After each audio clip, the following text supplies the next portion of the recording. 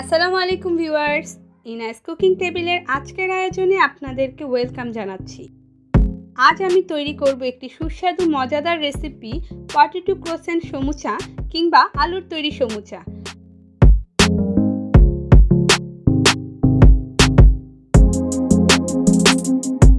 Potato croissant samosa বানাতে প্রথমেই আমি এখানে নিয়ে নিচ্ছি হাফ কাপ পরিমাণ ময়দা। ময়দাটা অবশ্যই আমি চেলে নিব যাতে কোনো লাম্পস না থাকে। এরপর এতে অ্যাড করে দিচ্ছি হাফ চা চামচ লবণ। আপনাদের স্বাদ অনুযায়ী লবণটা কম বেশি হতে পারে। এরপর এখানে অ্যাড করে দিচ্ছি সামান্য পরিমাণের তেল। তেল দেওয়ার পর ময়দান মিশ্রণটাকে আমি আবার একটু ভালোভাবে মেখে নিচ্ছি। এভাবে যদি হাত দিয়ে চাপ দিলে ময়দাটা এমন দলা বাঁধানো যায়, তাহলে আমরা বুঝতে পারব তেলের পরিমাণটা একদম পারফেক্ট হয়েছে। এ পর্যায়ে আমি অল্প অল্প করে পানি অ্যাড করে একটি ডো তৈরি করব। ডোটা তৈরি হওয়ার পর এটাকে আমি ভালোভাবে এভাবেই হাতের সাহায্যে মেখে ২০ মিনিটের জন্য রেস্টে রেখে দিব। সমুচার ভিতরের পুরটা তৈরি করতে এখানে আমি সিদ্ধ আলু এভাবে কুচি কুচি করে কেটে নিয়েছি। এরপর এখানে লবণ দিয়ে দিচ্ছি স্বাদ অনুযায়ী। জিরা গুঁড়া দিচ্ছি হাফ চা চামচ। ধনিয়া গুঁড়া দিচ্ছি হাফ চা চামচ।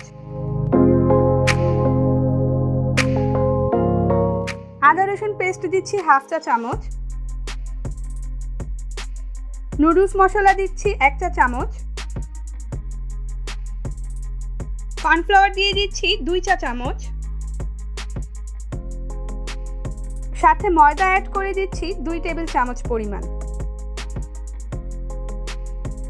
লাল মরিচের গুঁড়া দিচ্ছি হাফ চা চামচ।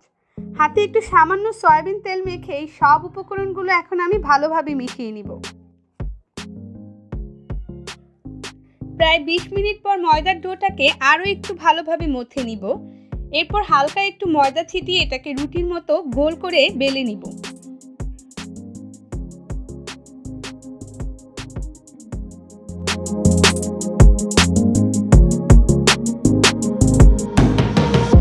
রুটিটা গোল করে বেলে নেওয়ার পর একটা পিৎজা কাটার দিয়ে এভাবে আমি আড়াআড়ি করে এটাকে কেটে নিচ্ছি।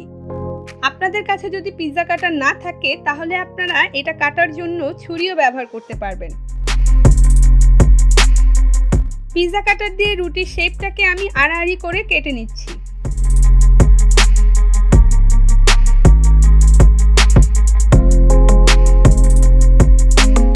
এরপর হাতে সামান্য সয়াবিন তেল মেখে আমি আলুর পুরগুলোকে এভাবেই একটা লম্বাটে শেপ করে নিব এবং চারপাশে এটাকে সেট করে নিচ্ছি।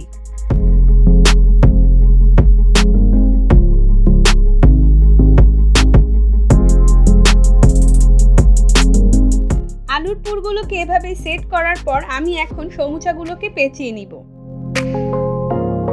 আপনারা এভাবে এটাকে ঘুরিয়ে ঘুরিয়ে একটু পেঁচিয়ে সমুচাটি বানিয়ে নেবেন এবং এর শেষ মাথায় হালকা পরিমাণের একটু পানি দিয়ে চাপ দিয়ে নেবেন। এতে করে সমুচাটা ছুটে আসবে না এবং ভিতর থেকে পুরগুলো বের হবে না।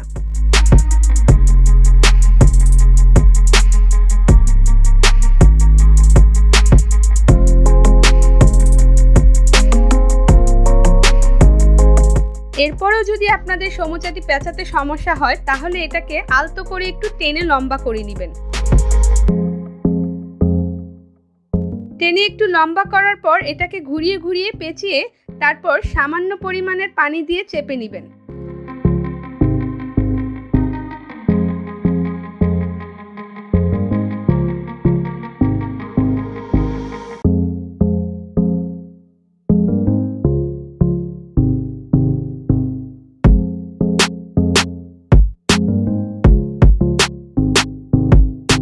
এই পদ্ধতিতে আমি আমার প্রত্যেকটি সমুচা তৈরি করে নিয়েছি।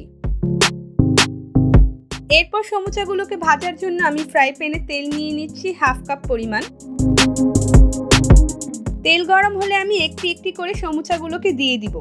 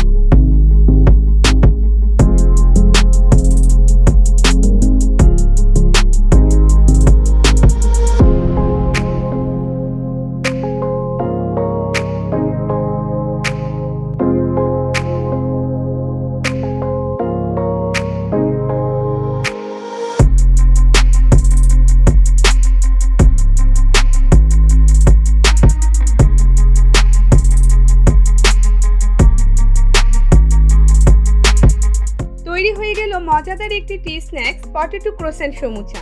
আপনারা বিকালের নাস্তায় গরম গরম এই সমুচাটি বানিয়ে চায়ের সাথে পরিবেশন করতে পারবেন। আশা করি আমার আজকের এই নাস্তার রেসিপিটি আপনাদের ভালো লেগেছে। এরকম আরও নানান রেসিপি পেতে আমার চ্যানেল ইনাস কুকিং টেবিলকে সাবস্ক্রাইব করুন ও পরবর্তী আপডেট পেতে পাশে থাকা বেল আইকনটি প্রেস করুন। আপনার গুরুত্বপূর্ণ মতামত জানাতে আমাদেরকে লাইক কমেন্ট ও শেয়ার করুন। সবাই ভালো থাকবেন সুস্থ থাকবেন। আসসালামু আলাইকুম।